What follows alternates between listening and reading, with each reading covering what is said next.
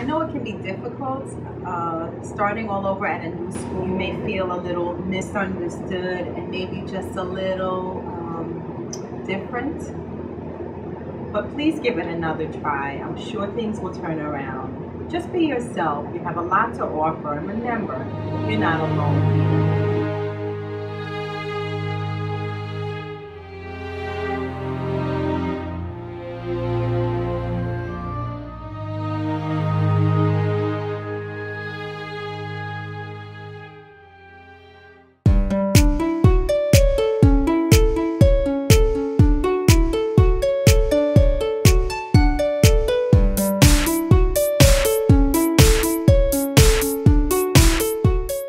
Don't be tricked into acting like a bully. Treat everyone as you want to be treated. Celebrate our diversity. Everyone brings something different to the party.